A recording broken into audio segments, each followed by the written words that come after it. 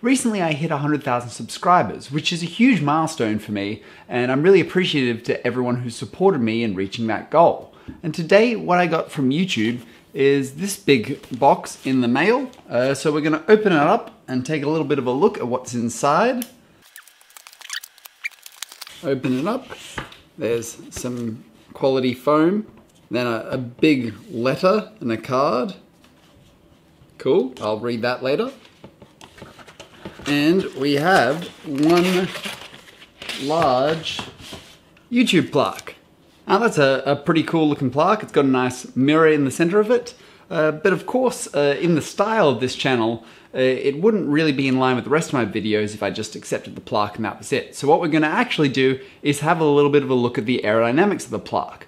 Now to do this, uh, I'm actually gonna 3D scan the plaque and then I'm gonna go and run it through CFD and we'll see what the result is.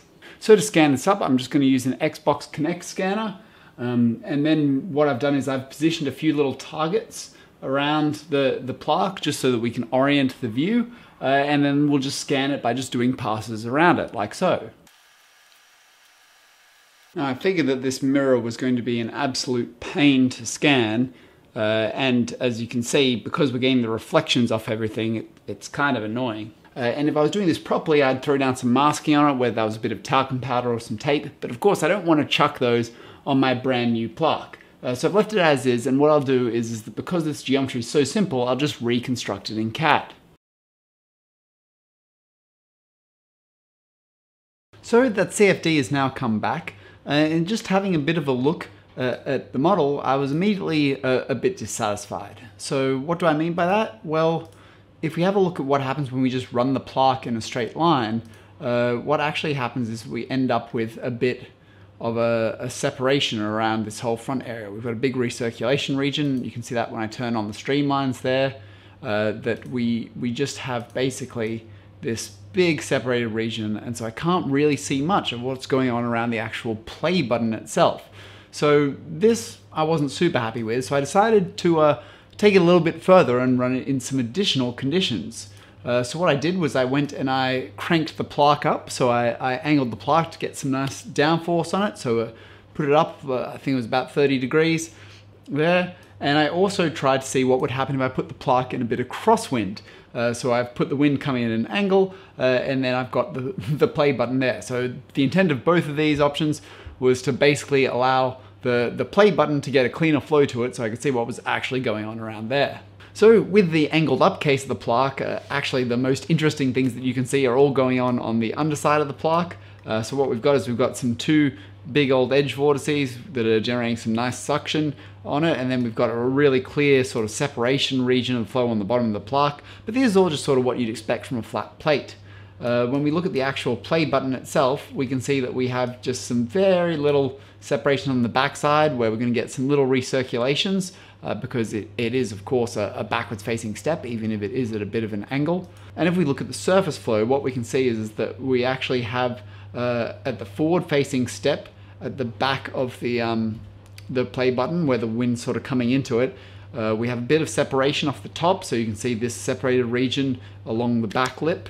Um, so we're separating there. Uh, and then in the front, we've got a big stagnation region. That's more or less as we would expect for a forward-facing step. Um, but we can see there's some asymmetry to the flow because the, the, the, triangle of the play button has resulted in some, some different structures being formed on the surface through here. Um, and as a result, you can actually see that the, the attachment of the different parts of the, the rear step is quite different depending on what the triangle is actually feeding back to it. Now we put into crosswind, we get some very interesting structures indeed. Uh, the first thing that you get, and keep in mind this is crosswind with the plaque completely flat, uh, is that you get this cool little leading edge vortex getting rolled up here. So if you follow those little grey lines through, you'll see that they're going, they're forming this little edge vortex along there, which is generating us a little bit of local suction. Back further around the play button itself, we can see that we're actually getting this same sort of structure rolling up where the forward facing step is at the back of the play button. Uh, so we can see we're getting a little bit more suction here. Uh, and if I turn on the, the surface flow, what we'll see is we can see that little bit of, of roll up there that's our vortex that's happening along the backside of the play button. We've also got that same sort of forward facing step effect that we saw earlier on the front side of the triangle, uh, where we end up with some stagnation in front of the triangle and then we've got a recirculation region over the top of the triangle, and then we've also got recirculation regions on either side of the triangle. Now we can also go and have a look at the loss distribution in a, in a volume profile around the plaque, and we can see that we have a lot of loss spilling out in the bottom corner of the plaque we're in crosswind. Obviously the leading edge vortex along here is quite lossy, where that roll up occurs and that then spills off the side but you can see that we, we are from the actual play button itself generating some loss at that forward facing step and also where its little secondary vortex is rolling up there. And then of course we naturally have some losses off the trailing edge of the whole plaque. So overall, I think that aerodynamically, there are definitely some refinements that could be done here. Uh, the first thing I'd do would be to smoothen out the whole thing. Uh, so ideally, we wouldn't have the play button at all here and just have a flat plate. Uh, but if you had to keep the play button, you'd go and you'd smooth everything out, just that you have a little bit less of these forward and backward facing steps, just to reduce the losses. Uh, and I think also we could do some treatments in terms of going for thinner trailing edges, chamfering everything up and just applying fillets where appropriate to just make it a little bit more aerodynamically efficient.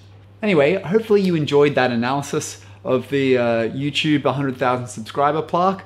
Uh, thanks for watching everyone and thanks for all your support that has led to this point. Uh, if you like this video and you're a newcomer to my channel, don't forget to hit that subscribe button uh, and click the notification bell to see the latest updates from my channel and hit the like button if you enjoyed this video. Hopefully, I'll see you next time.